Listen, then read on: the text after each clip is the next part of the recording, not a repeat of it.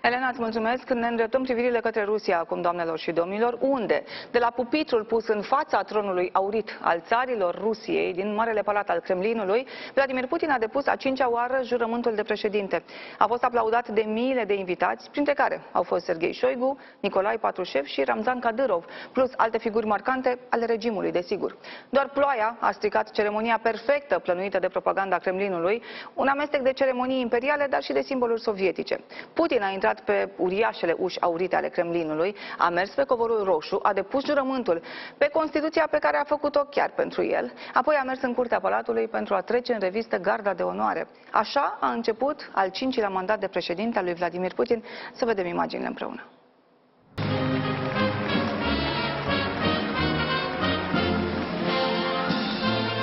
Клянусь при осуществлении полномочий президента Российской Федерации уважать и охранять права и свободы человека и гражданина, соблюдать и защищать Конституцию Российской Федерации, защищать суверенитет и независимость, безопасность и целостность государства, верно служить народу.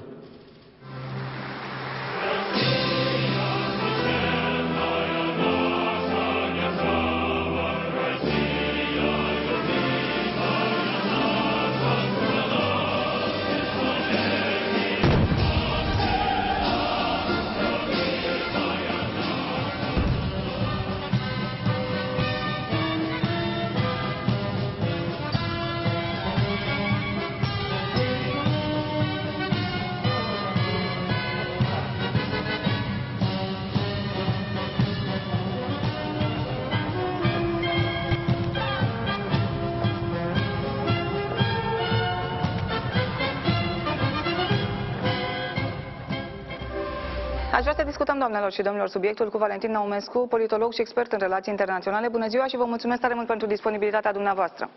Bună ziua, bine v-am regăsit. Domnule Naumescu, așa de fast nu ne mai mirăm, știam toată ceremonia, cum va fi, uh, cum se va desfășura, pentru că așa și-o pregătește întotdeauna, așa a pregătit și Constituția pentru el, toți invitații special și de săi, ca să spun așa. așa ascultam așa jurământul va proteja integritatea și suveranitatea poporului rus. Asta a promis el în fața uh, rușilor. Astăzi, după un sfert de secol de domnie, pot să o numesc, încă șase ani, ce ne aduc cu Vladimir Putin, cu Rusia în mâinile sale? Uh, nu trebuie să ne lăsăm impresionați de aceste imagini uh, fastuoase. Știm uh, foarte bine, deja Rusia este o dictatură care este deghizată într-un sistem politic pluralist, deci a fost un mhm. fel de simulacru de inaugurare, pentru că evident mandatul lui Putin nu a fost inaugurat astăzi, Putin este la putere în schimb, dacă se împinge războiul, spuneam, în prelungiri, 2025-2026, se va vedea că inclusiv uh, rezistența, resursele acestei mașinării de război a Rusiei, care pare acum uh, uh, nelimitată și invincibilă, se vor epuiza, iar regimul Putin, în opinia mea, nu va apuca finalul acestui, așa zis, nou mandat început. Cu alte cuvinte, Putin nu se va mai afla la putere în 2030, iar prăbușirea lui la, uh, de la putere va veni în următorii ani, oricum înainte să încheie acest mandat și va veni din uh, interiorul uh, sistemului de putere de la Moscova. Da, de acolo s-a vorbit de la început că poate să-i vină sfârșitul, ca să spun așa, deci nu duce, în opinia dumneavoastră, până la capăt acești șase ani pe care îi inaugurează cumva astăzi. Vreau să vă întreb un detaliu, mi s-a părut interesant, cred că ministrul apărării din Italia spune, sper să nu mă înșel uh, legat de ce ministru uh, o zicea, vorbea de o pace, de o discuție, o cale diplomatică de a face pace în acest moment. E vreo posibilitate, mai e vreo posibilitate de acest gen? Uh, nu, am văzut, uh, din păcate, acel uh, interviu uh, de ieri este foarte dezamăgitor, interviu pe care l-a dat ministrul italian al apărării, uh-huh. dar este o poziție oarecum uh, uh, singulară și nu a fost uh, nici acceptată, nici îmbrățișată, nici măcar în Italia de, de restul clasei politice, nu mai vorbesc la nivelul Uniunii Europene sau al NATO, nu se poate face uh, uh, uh, pace acum cu Putin în condițiile Rusiei, pentru că asta ar, ar, ar fi o pace nedreaptă care ar recompensa agresorul și ar pedepsi victima, adică Ucraina. Chiar dacă, sigur, nimeni nu, nu este de acord cu războiul, războiul este dur, are costuri, nu se poate accepta o pace nedreaptă ci doar o pace dreaptă. Ce înseamnă o pace corectă este o pace care să restabilească uh, suveranitatea și integritatea teritorială uh, a Ucrainei, iar uh, Rusia să uh, oprească această agresiune și să fie învinsă să-și vadă eșuate toate obiectivele strategice pe care le-a avut. Cu alte cuvinte, uh, ce a dorit Putin când a invadat Ucraina? Schimbarea conducerii democratice de la Kiev, schimbarea orientării strategice Uh, a Ucrainei dinspre vest înapoi uh, spre Rusia, uh, a dorit um, dezmembrarea NATO și retragerea NATO, spunea el, pe aliniamentul care a fost în 1997, înainte de începerea lărgirii NATO spre Est, dezintegrarea Uniunii Europene, retragerea forțelor armate americane de pe continentul european.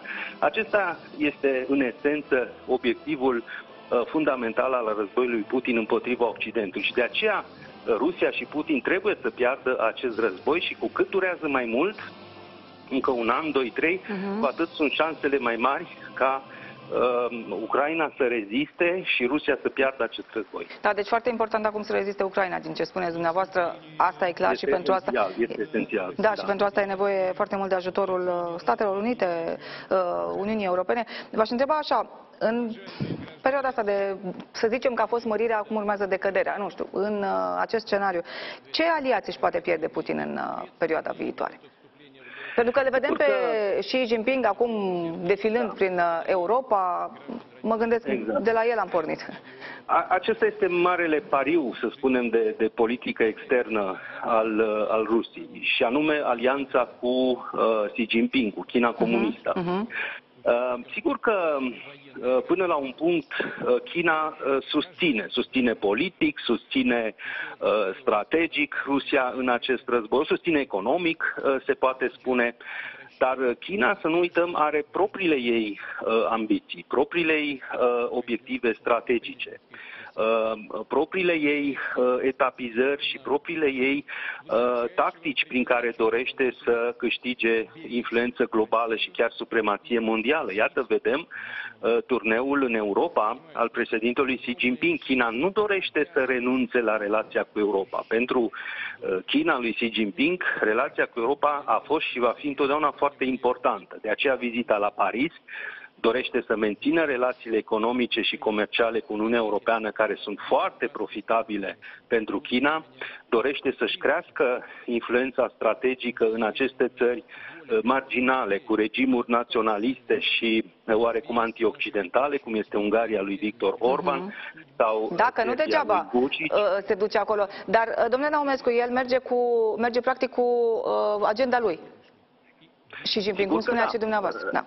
E foarte important că observați acest lucru. Multă lume privește din perspectiva uh, Occidentului, Europei. Nu, acesta este un turneu politic al președintelui uh, Chinei care urmărește promovarea obiectivelor Chinei în, în Europa. Exact.